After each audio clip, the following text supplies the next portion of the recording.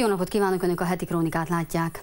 Kedves nézőink, immár 25 27 éve elnézést annak, hogy az általunk fekete márciusként ismert Marosvásárhelyi véres összecsapás megtörtént. Közel három évtized telt el, a szereplők, az érintettek egy része nincs már az élők sorában. Időközben felnőtt egy generáció, és a következő is cseperedőben. Ám ez nem azt jelenti, hogy elhalványult volna az emlékezet. Arról nyíltan beszél ma már mindenki, hogy 1990 márciusában Marosvásárhely nem egy spontán összecsapás színtere volt, hanem egy tudatosan gerjesztett konfliktusé amelynek részleteit viszont máig sem vizsgálták, és mindeddig a felelősségre vonás is elmaradt.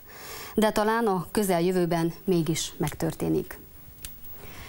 Menyhárd Gabriella nagyváradi ügyvéd múlt hónapban beadványt intézett a legfelső bíróság mellett működő ügyészséghez, amelyben a Marosvásárhelyen történtek újravizsgálását kéri. A beadvány egyben feljelentés is azok ellen, akik 1990 márciusában döntéshozói szerepet töltöttek be, illetve akikkel szemben az emberölés vágya már korábban felmerült. 27 évvel ezelőtt Marosvásárhelyen véres összecsapások zajlottak le magyarok és románok között. A zavargásoknak öt halottja és több száz sérültje volt. Ma már nem titok, hogy 1990. március 19-én buszokkal hozták be a környező falvakból, elsősorban a Görgény völgyéből a felbújtatott román lakosokat. Mint ahogy az sem titok, hogy az akkori államhatalom Ion Iliescu elnökkel és Petre Román kormányfővel az élen lépésről lépésre tájékozódott a történésekről. A katonai beavatkozást, amely életeket mentett volna, viszont csak késve rendelték el.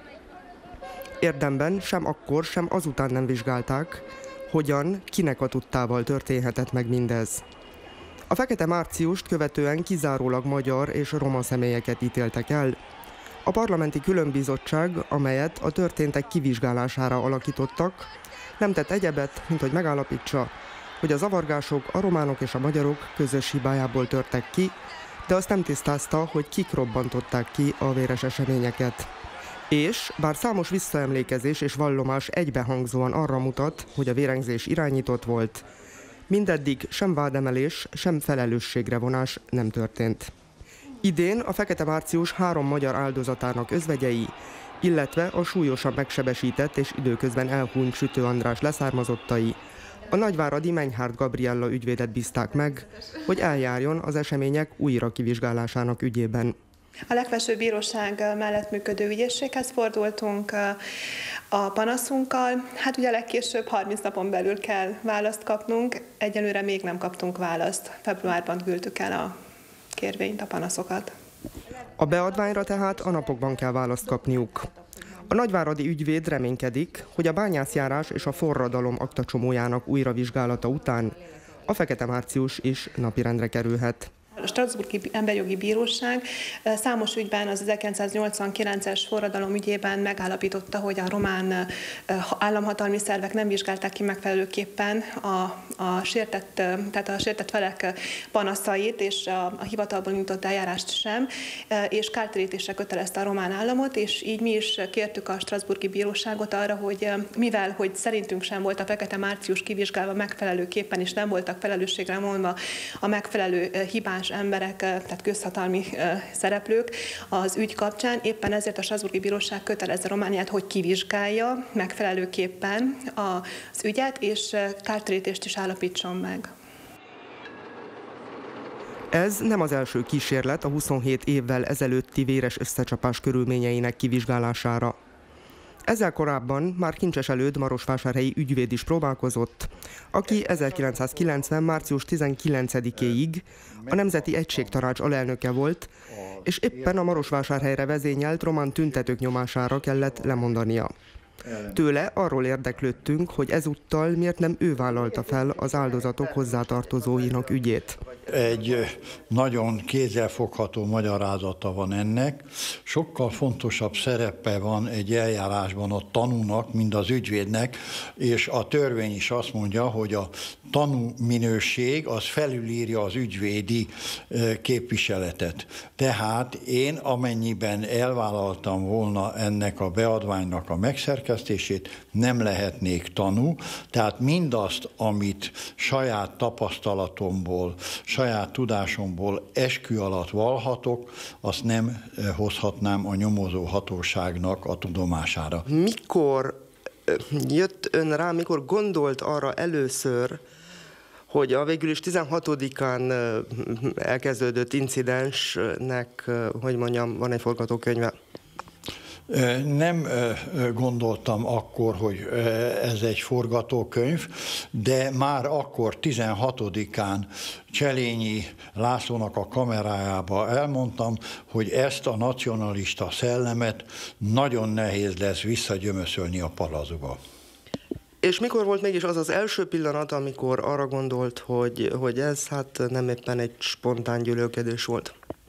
Amikor megtudtam Formanek Ferenctől, hogy március 15-én megpróbáltak Szatmár németiben kirobbantani egy hasonló konfliktust, de Szatmár németiben a magyarok nem vették fel a kesztyűt, és azt is elmondta Formanek, hogy nem Szatmár németi, hanem Marosvásárhelyi különítmény randalírozott.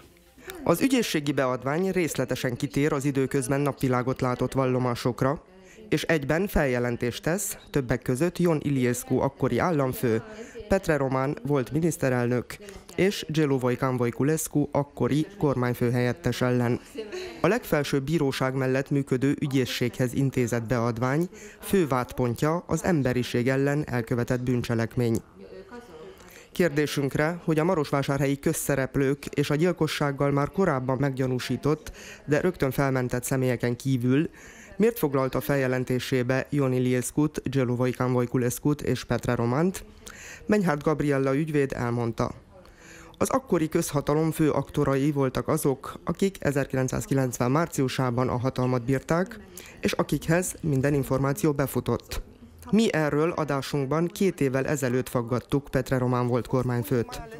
Mindenek előtt arra voltunk kíváncsiak, hogy miért nem vizsgálták érdemben a történteket, miért került sülyeztőbe a Fekete Március ügye. Nu cred că ceea ce s-a întâmplat la Târgu Mureș reprezintă normalitate în niciun caz. Păi nu. Uh, este, este foarte, foarte adevărat că poate că justiția nu funcționa atunci uh, tocmai, tocmai bine. Nu era o justiție transformată, era aceeași. În esență, ca, ca resursă umană, ca oameni care erau acolo. Uh, sigur că ei trebuiau să gândească cu totul altfel, având în vedere că aveau deja libertatea. Pentru mine, ca, ca prim-ministru, ceea ce uh, am căutat să spun este că noi vrem să se facă lumină. Noi vrem să știm cine sunt uh, vinovați. Și mai vrem și pare și acum? Credeți că ar fi oportună o redeschidere da, a dosarului? Nu, eu cred că oportun e următorul lucru. Ca cei care sunt uh, victimele sau familiile victimelor uh-huh. să se adreseze justiției, pentru că oricând se face dreptate, e bine făcută. Vă simțiți într-un fel responsabil sau măcar aveți niște regrete legate de, de modul în care ați acționat în acele zile nu, sau din, după? Din potrivă, din potrivă. A fost unul din, a fost momentul de cea mai mare tensiune, cea mai grea decizie din viața mea, nu doar viața mea politică, din viața mea. A fost uh, momentul de cea mai teribilă tensiune prin care am trecut, știind că la Târgu Mureș putea să declanșeze o baie de sânge și noi uh, să fim, noi care conduceam România, să fim incapabili să o uh, oprim. Dar am oprit-o. De hát ez nem épp így van. A Fekete Márciusnak halálos áldozatai voltak. Kis Zoltánt egy a tömegbe hajtó teherautó gázolta halálra. Az elkövetőt nem ítélték el. Az áldozat özvegye Kis Irma egyike a múlt hónapban megfogalmazott beadvány aláíróinak elment munkába, és délután a négy órás vonattal visszajött, és akkor még minket is indított, hogy menjünk be, mert nagy baj van. És akkor mi nem mentünk, de elment. Nem bírtam, mert nem bírtunk, és oda mentem. Bément vissza a vásárhelyre. És akkor mikor oda valahol bevegyült, akkor már ő ott is maradt. Másnap tíz órakor itt a hír, hogy meg van halva. Bozteremben. Aztán így ott mentünk, és igaz volt, hogy ott van. Ja, már hazajönni nem tudott, nem mivel itt ment a kicsi, hat órás vonatta, belé ment az ütkezetbe pont. Gyermekek házán a dolgozott, s hat maradt volna, hogy felnyülni üljen le, akkor lehet életbe lenne. 27 éve már a borzalmas pillanatoknak és az azt követő időszaknak, amely a félelem a rettegés jegyében telt el. Jó, hát igen. Féltünk is, és nagy baj is volt, mert mi akkor a forradalom volt, unni tudtuk, hogy bántnak még, vagy nem. Virasztókó. Virasztója volt nagy, három házba, a házban is tartották, és mindenki futott szerte széje, hogy jönnek a rományok nyárát tör. Az utolsó maros, mint hogy mondjam. És közben az se volt igaz, de a nép elszéledett. Gyűltek vissza, megint mentek. Mindenki itt meg volt riadva. Na, aztán másnap mentek utána, és muszáj volt rendezni. Eltemet nincs úgy.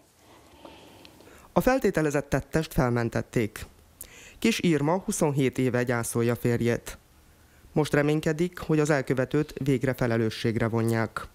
Jó na, hogy vegyék el és számoltassák le, hogy ezt mit tette. Mi jött be ő hodákról ide. És úgy, ahogy vittek ők, amit az egész világ lát.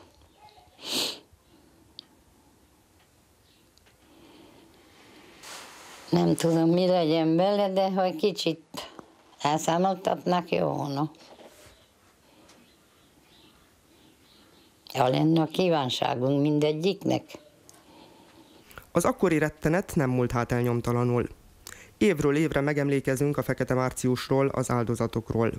Megtudni azt, hogy pontosan mi történt akkor, az azóta eltelt hosszú idő ellenére nem csupán történelmi kíváncsiság. Nagyon fontos szerintem.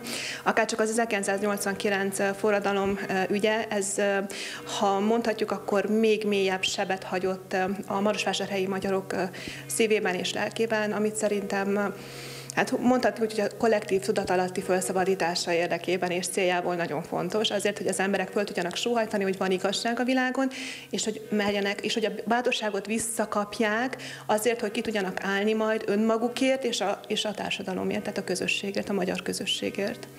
De nem torzultak-e közben az emlékek? Nem merült-e végérvényesen feledésbe több meghatározó pillanat? Rekonstruálható-e még, ami 1990 márciusában történt?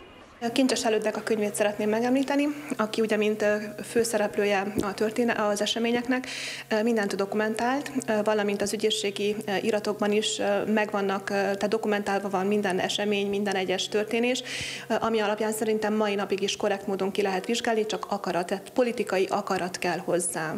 Mennyire tudnak mérvadóak lenni még a tanúvallomások 27 évvel teltével?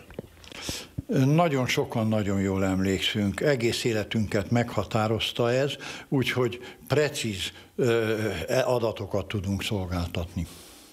A kérdés most már csak az, hogy az ügyészség is fontosnak tartja-e a precíz adatokat. Azt, hogyha nagyon megkésve is, de fény derüljön a rendszerváltási utáni Románia egyik legsötétebb és legveszélyesebb fejezetére. Arra, hogy ki, avagy kik játszottak akkor emberi életekkel, Kik játszották el egy másfajta élet, másfajta együttélés lehetőségét Marosvásárhelyen. Kedves nézőink, köszönöm figyelmüket. Heti krónikával jövő hétfőn jelentkezünk újból. Nézzék a magyar adást addig is. Viszontlátásra!